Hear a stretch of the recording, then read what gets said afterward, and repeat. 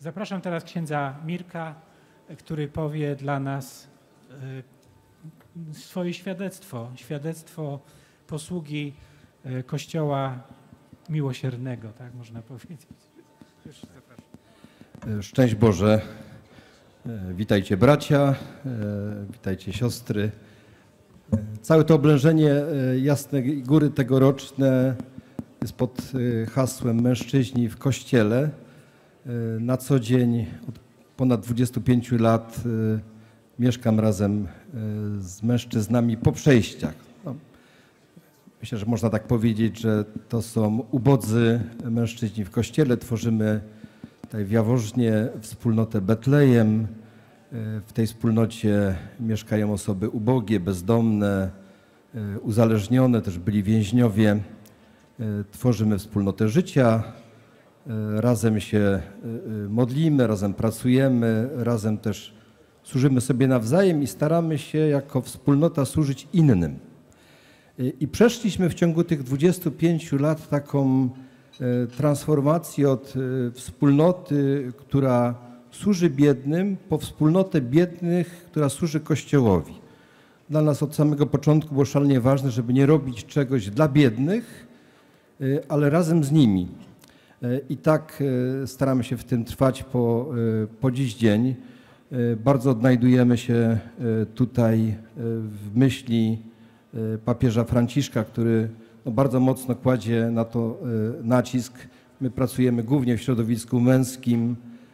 Nasi mieszkańcy to są, to są mężczyźni i staramy się od samego początku, przyjmując ich do naszego domu, do naszej wspólnoty, przekonać, że nie są tylko odbiorcami czyjejś posługi charytatywnej, pomocy, e, ale są braćmi e, we wspólnocie i nie są w tej wspólnocie tylko po to, żeby otrzymać pomoc, ale są też po to, żeby e, na nowo odkryć swoje talenty i, i służyć. Chciałbym się odwołać do takiego obrazu papieża Franciszka z konklawy, gdzie papież Franciszek użył pięknego obrazu. Mówi, dzisiaj Chrystus puka do drzwi, ale nie puka do tych drzwi kościoła od zewnątrz, żeby mu otworzyć, ale puka od środka.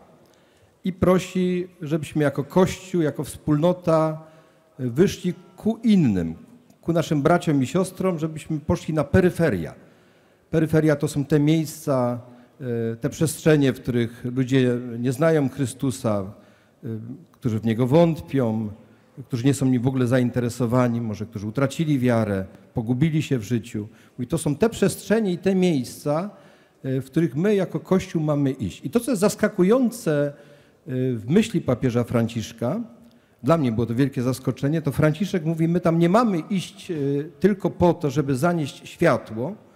To nie jest taki prosty podział, że my w Kościele mamy światło, mądrość, słowo, a ci, którzy są na peryferiach, tego światła nie mają. Franciszek napisał e, w jednym z listów na Światowy Dzień Ubogich takie słowo: Dzielenie się z biednymi e, pozwala nam zrozumieć Ewangelię w najgłębszej jej prawdzie. Biedni nie są problemem, ale są zasobem, z którego możemy zaczerpnąć, aby przyjąć i żyć istotą Ewangelii. To biedni nie są problemem. Biedni są zasobem, z którego możemy zaczerpnąć, żeby żyć istotą Ewangelii. Pozwólcie, że przywołam e, jeden przykład. E, Jest w diecezji katowickiej taka inicjatywa, która się nazywa Światło w Familokach. To księża e, posługują wśród ludzi biednych, właśnie często w takich dzielnicach robotniczych, przykopalnianych, w tak zwanych familokach. Jeden z księży opowiadał mi, że raz na jakiś czas w którymś z mieszkań w tych familokach e, organizują e, takie spotkanie biblijne, krąg biblijny, czytają Ewangelię.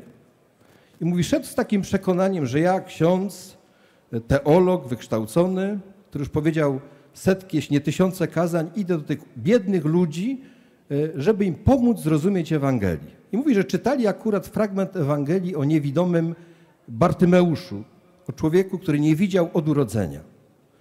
E, I wtedy jeden z tych ubogich ludzi, bezrobotny, mieszkaniec tego familoku, e, powiedział e, taką całą prostotą: komentując jakby uzdrowienie Bartymeusza, powiedział tak po śląsku, te roski, ten ślepy to mu przerąbane, bo se będzie musiał poszukać roboty.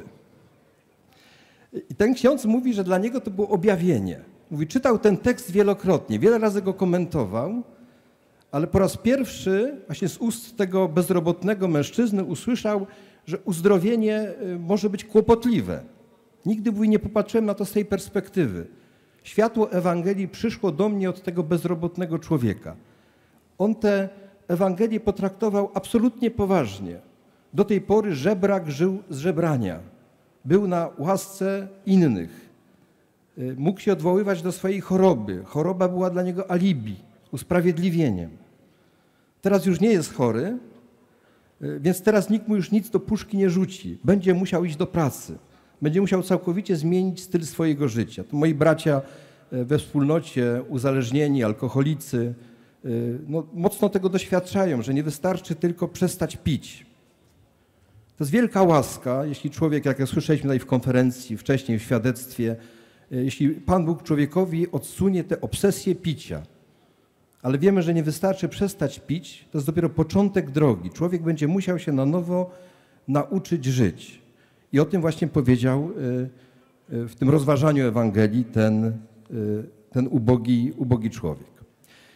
Często nas pytają, a jesteśmy już ponad 25 lat wspólnotą, E, ilu waszych mieszkańców wyszło z bezdomności? I przyznam, e, że mam pewną trudność z odpowiedzią na to pytanie, bo trudno jest jakby podać tą definicję wyjścia z bezdomności. Co to tak naprawdę znaczy? Czy z bezdomności człowiek wychodzi wtedy, kiedy dostaje klucz do swojego e, mieszkania? Wydaje mi się, że kryterium jest inne. Z bezdomności, z jakiejś zależności człowiek wychodzi wtedy, kiedy zaczyna być odpowiedzialny za swoje życie.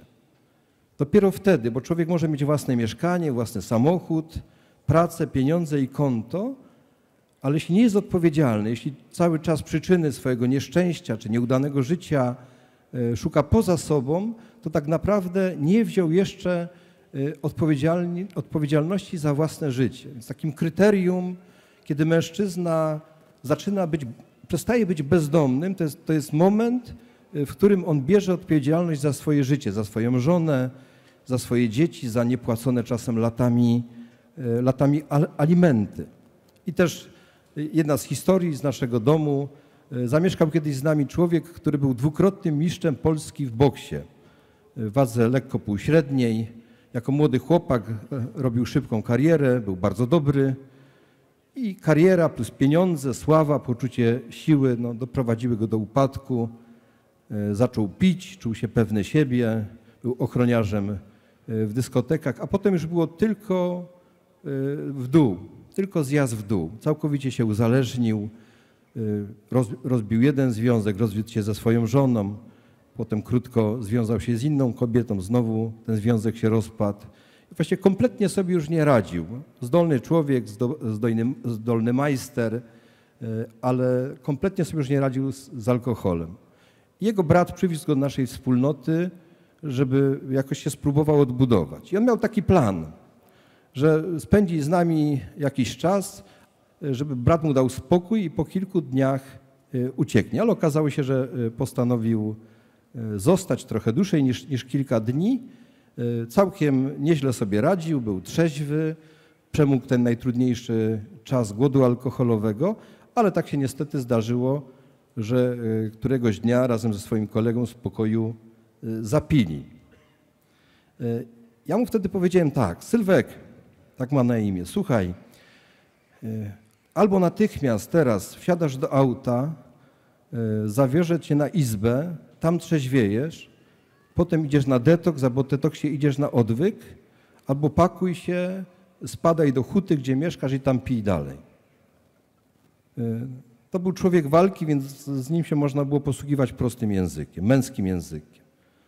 On się chwilę zastanowił i powiedział, e, jadę na odwyk.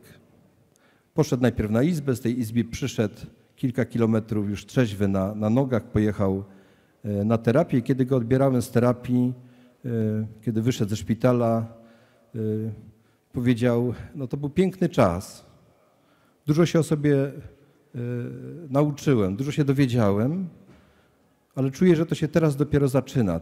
Teraz dopiero po terapii y, zacząłem się y, zastanawiać nad tym, co z moim synem, którego nie widziałem 15 lat. Ostatni raz go widziałem, jak miał roczek. Do tej pory, kiedy piłem, to mnie kompletnie nie, nie interesowało. Teraz mnie to zaczyna interesować. Nie wiem, co mam zrobić. Czy mam go szukać, mam szukać kontaktu z nim, czy to zostawić, poczekać. Y, teraz czuję, że y, muszę się wziąć za bary z życiem. Kiedy go zawoziłem na, na Izbę Wytrzeźwień, to powtarzał w kółko jak Katarynka, jestem świnią, jestem świnią. Ja mu powiedziałem, słuchaj, nie jesteś świnią, świnia wygląda inaczej. Nie, jestem świnią. Y, ale kiedy wyszedł z terapii, wyszedł z odwyku i później zaczął naprawdę bardzo dobrze żyć, starać się uczciwie pracować. Pewnego dnia pojechaliśmy na spotkanie z młodzieżą do liceum. Ja go przedstawiałem, słuchajcie, to jest Sylwek, mieszkaniec naszego domu. On jest bokserem. I on mi przerwał i powiedział przy tej młodzieży, proszę księdza, bokser to jest pies. Ja jestem pięściarzem. Ja mówię, no tak, ale e, dopiero co się upierałeś, że jesteś świnią. A teraz się e, obrażasz, jak mówię, że jesteś bokserem. Przecież to już jest pewien awans. Nie? To był bardzo piękny moment. To jest taki moment, kiedy e, w człowieku następuje przebudzenie kiedy już mu nie jest wszystko jedno, nie jest wszystko jedno, co on sam o sobie mówi, co inni o nim mówią. I w pracy z ubogimi y, jest jeden z najpiękniejszych momentów. To jest ten moment, kiedy nagle człowiek sam zaczyna chcieć. Y, kiedy już kończy z tym etapem, gdzie wszyscy mu mówią: zmień swoje życie, spróbuj, dasz rady, to jest możliwe dla ciebie. Najpiękniejszy jest ten moment, kiedy człowiek naprawdę chce sam. I my głęboko wierzymy w to, że w każdym człowieku, bez względu na to, jaką przeszedł drogę, y, jest taka możliwość. W każdym z nas jest taka możliwość, takie pragnienie, y, żeby zacząć chcieć sam z siebie. Ksiądz Tischner napisał kiedyś taką rzecz, która nas bardzo inspiruje w naszej wspólnocie. Powiedział kiedyś, że najpiękniejsza rzecz, jaką jeden człowiek może zrobić dla drugiego, to obudzić w nim godność i poczucie wolności. Najpiękniejsza rzecz, jaką jeden człowiek może zrobić dla drugiego, to obudzić w nim godność i poczucie wolności. Po co go budzić? Tutaj żydowski myśliciel Heschel y, mówi: Jesteśmy stworzeni na obraz i podobieństwo Boga. Kiedy opadną z nas łuski, zaczynamy oświetlać świat. I to jest tak naprawdę, panowie, misja każdego z nas My jesteśmy posłani przez Boga z taką misją, żeby oświetlać świat. Nie tylko, żeby żyć przyzwoicie, ale po to, żeby iść z misją do ludzi, oświetlać świat. Mamy w sobie źródło światła. Nawet jak człowiek pogubi, upadnie, jest oklejony rozmaitymi łuskami, to te łuski mogą z niego odpaść e, i może oświetlać świat. I nigdy na to nie jest za późno. I pozwólcie, że ostatnia historia z naszego domu. W naszym domu przy, przy Betlejem stoi pomnik, być może jedyny w Polsce, człowieka bezdomnego. Wykonany z brązu, z porządnego materiału, tak jak się stawia pomniki poważnym ludziom. To jest pomnik postawiony Włodkowi, który u nas miał ksywę Pan Miotełka. Włodek trafił do nas, kiedy miał 60 lat. Życie absolutnie zmarnowane. Był samotny, szybko mu zmarli rodzice, szybko się uzależnił. W wieku dwudziestu paru lat pociąg mu przejechał nogę, kiedy pijany leżał na torach. Pił już wszystko. 30 ostatnich lat, zanim do nas trafił, w swoim rodzinnym domu e, prowadził melinę. Nikt już niczego od niego nie oczekiwał. Wszyscy tylko czekali, kiedy umrze i w jaki sposób, w jakich okolicznościach. Spłonął jego dom. No, on po, po, tym pożarze nie miał się gdzie podziać i przywieźli go do nas z naszej wspólnoty.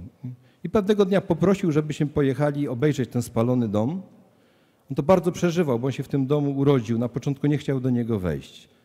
Y, I myśmy na ten spalony dom popatrzyli bardzo praktyczni. Wiecie, że mężczyźni są praktyczni, ponieważ w naszej wspólnocie, a nasza wspólnota utrzymuje się z pracy własnych rąk, Nasi mieszkańcy pracują codziennie od 8 do 16 w pracowni ceramiki, w pracowni ikon. Prowadzimy mini zoo, przyjmujemy gości, prowadzimy warsztaty. Chcemy, żeby osoby ubogie nie koncentrowały się tylko na swoich niedostatkach, ale służyły innym. Więc myśmy na ten spalony dom popatrzyli bardzo praktycznie i z, ze spalonej powały i podłogi zabraliśmy deski na ikony, ponieważ wykonujemy ikony ze zwęglanych e, kawałków drewna. On się trochę dziwił, po co nam te deski. Potem w naszym domu te deski czyścił. I to była dla niego przykra praca, bo wiedział, że to są elementy jego domu. Ale też zobaczył, co z tego powstało. Zobaczył, że z tego powstały ikony, które później myśmy podarowali naszym przyjaciołom na święta. I kiedy siedzieliśmy przy stole, ten mężczyzna powiedział w którymś momencie tak, wie ksiądz co, e, może dobrze, że się ten dom spalił, bo gdyby się nie spalił, to ja bym dzisiaj nie żył. A tak to się w miarę dobrze mam. E, słyszeliśmy tutaj w świadectwie wcześniej, że Pan Bóg nie zabiera człowiekowi e, obsesji picia całkowicie, że człowiek dalej ma wolność wyboru. Włodkowi Pan Bóg nie zabrał obsesji picia, ale mu ją zamienił. To był cud, bo ten człowiek bez terapii, co się bardzo rzadko zdarza, przestał pić, ale Pan w zamian za to dał mu taką obsesję zamiatania ulicy. I ten człowiek, który miał drewnianą protezę, bo nie pozwolił sobie jej wymienić na żadną inną, codziennie e, rano wychodził przed dom po śniadaniu i do wieczora potrafił zamiatać ulicę. Mieliśmy najczystszą ulicę w mieście. Y, zasłużył sobie na wielki szacunek w naszej dzielnicy. Wszyscy go znali. Kiedy ktoś przechodził, on się zatrzymywał, zdejmował czapkę, kłanił, kłaniał się, zamienił kilka słów i dalej zamiatał. Jedna y, z naszych sąsiadek ma córeczkę i ta córeczka nazywała Włodka panem Miotełką. A myśmy Włodka nazywali człowiekiem Google Maps, bo zawsze, kiedy Google aktualizowało mapę, zawsze mu robili zdjęcie nie byli w stanie zrobić zdjęcia ulicy bez Włodka, bo on zawsze na tej ulicy był. E, nawet po śmierci postanowili uszanować tę historię i w zeszłym roku aktualizowali, a Włodek umarł 5 lat temu e, i postanowili ten odcinek zostawić z jego, z jego fotografią. I kiedy umierał, myśmy powiedzieli, Włodek, jak umrzesz, to my ci w tym miejscu postawimy pomnik, bo nikt tak o tę ulicę nie dbał. I on był wtedy bardzo szczęśliwy. Rzeczywiście, kiedy umarł, zrobiliśmy taką wielką zbiórkę złomu i niedaleko miejsca, w którym zamiatał, postawiliśmy ten pomnik. On na tym, tym pomniku jest przedstawiony w takiej formie, że jedną ręką ściąga czapkę i kłania się tym, którzy do nas przychodzą, a drugą ręką, e, w drugiej ręce trzyma miotłę, którą na chwilę odłożył na bok. Bardzo lubimy te rzeźby. Jeśli ktoś nas odwiedza, to najpierw go zapraszamy, żeby usłyszał tę historię, bo to jest historia o tym, że człowiek zawsze może zacząć na nowo. Że z człowieka to światło, które w nim jest, może w którymś momencie uzewnętrznić za łaską Boga. I myślę, że naszą misją mężczyzn w Kościele jest właśnie iść do tych ubogich, e, do poranionych, do pogubionych, do tych, którzy żyją w jakiejś beznadziei, właśnie z, z tym orędziem. Możesz zacząć na nowo. E, I chciałbym jedną rzecz jeszcze powiedzieć na koniec, to o co się też upomina E, często papież e, Franciszek, który e, zachęca nas, byśmy nie świadczyli usług charytatywnych na rzecz ubogich, ale żebyśmy ich potraktowali jako braci we wspólnocie. Że nie tyle pomoc charytatywna, co współuczestnictwo. I to, co człowieka budzi do życia, jego godność i wolność, to jest takie przekonanie, że moje życie jest komuś potrzebne. Bardzo nie lubię tego sformułowania, tego podziału na ludzi potrzebujących i na tych, którzy pomagają potrzebującym, bo to sugeruje z góry, że istnieje jakaś kategoria ludzi, którzy są potrzebujący i jakaś kategoria ludzi, która tym potrzebującym może pomóc. Że potrzebujący mają ręce po to, żeby brać, a dobrzy ludzie, szlachetni, wrażliwi mają ręce po to, żeby dawać. Ale my wszyscy bez wyjątku jesteśmy stworzeni do wzajemności. To Chrystus pięć razy powiedział, w czasie ostatniej wieczerzy: y, Miłujcie się wzajemnie, jak ja was umiłowałem.